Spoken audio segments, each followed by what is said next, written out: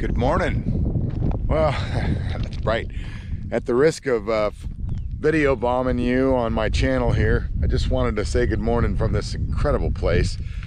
This is still Kansas, but it's two and a half miles down the road that way to Nebraska.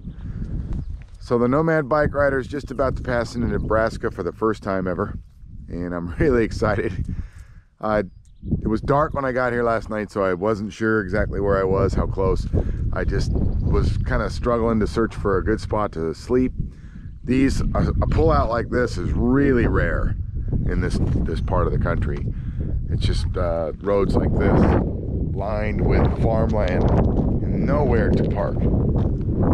So you can imagine you're just driving endlessly in the dark looking for a place to stay. You know, the only pullouts are to a house or whatever. And I, I saw this. I was actually on the phone with my buddy Wolfie, and he was trying to imagine finding a place to sleep on a road like this in the dark.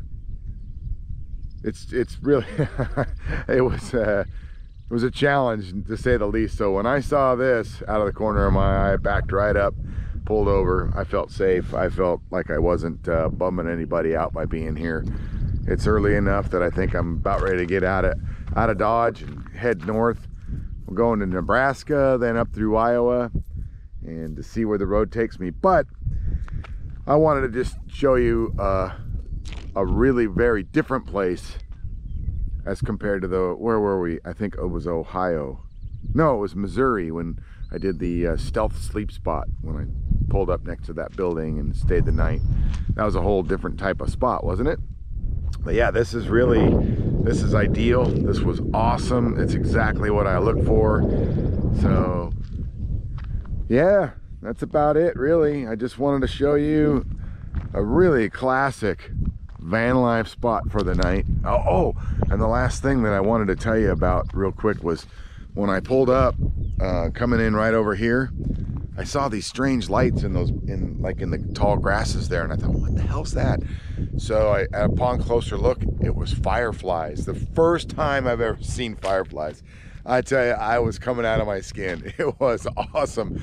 So I came out, walked around, and to check them out. And when they're not lit up and they kind of buzz you in the head, they sound like 747s. They're really, they're big and loud anyhow, uh, that's it for today's check-in. Um, I just wanted to do this just to show you the beauty of this country, in the middle of it, where so many people work so hard to provide us with food and whatnot.